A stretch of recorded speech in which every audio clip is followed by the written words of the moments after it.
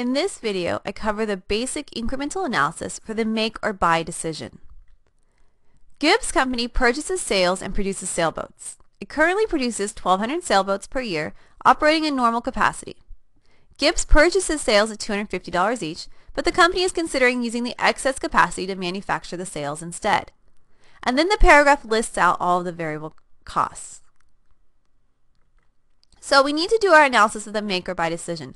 So even though right now they're buying them, when we perform our analysis, we always go from make on the left to buy. So that's the way we're going to set up our table. So first, let's find our direct materials costs. If we look in the paragraph, the paragraph tells us that the manufacturing cost per sail would be $100 for direct materials.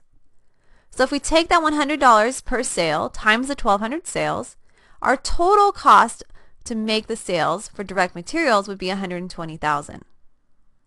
Next, we can find our direct labor. Again, if we go back to the paragraph, the paragraph tells us that our direct labor costs are $80 per sail. And so to find our total labor cost, we take our $80 per sail times the 1200 sails to determine the total labor would be $96,000. Okay, now we can see on both the materials and the labor, if we make the products, we have those costs. If we choose to buy, we don't have to pay direct materials or direct labor. So when we're comparing make to buy, that decrease in cost causes an increase in net income for both of those items. Now we need to look at our overhead. If we read the paragraph, it tells us that the cost for overhead is $100. However, it also tells us that the overhead is based on 78,000 of annual fixed overhead. Since the fixed overhead needs to be paid whether they make or buy, that is not factored into our decision-making process. So what we can do is we can take the 78,000 of fixed overhead, divide it by the 1,200 sailboats to determine that our fixed overhead cost per unit is $65. And if my total overhead is 100 and the fixed is 65, then the variable cost per unit is $35 for overhead. Now we can take that cost, multiply it by our number of sails to determine that if they choose to make, the total variable overhead cost would be $42,000. If they choose to buy, they would not have those costs, which therefore causes an increase in net income.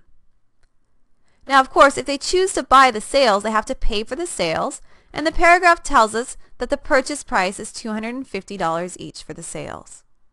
And so if we take that times the 1200 sails, our total cost to buy the sails is $300,000. Now if we make, that cost is zero. If we buy, that cost increases to 300,000.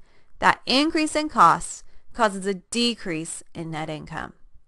And so if we do the math, we can see that choosing to make the sails would actually um, cause net income to increase because by buying them right now, they have a $42,000 decrease in net income. So they should choose to make the sails. But now if we read part B, it says, if Gibbs suddenly finds an opportunity to rent out the unused capacity of its factory for 77000 per year, would your answer to part A change?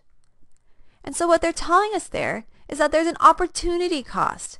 If they choose to make the sails, they cannot rent out the unused capacity for the 77,000 per year. So the cost of making includes this opportunity cost of 77,000. Okay, we're adding up costs here. So it goes in our make column because it's a cost that we're going to have because basically we're losing this opportunity. And so now when we look at our totals, it tells us that they should choose to buy because by buying, it causes an increase in net income of 35000 So that opportunity cost comes into play and changes our make or buy decision.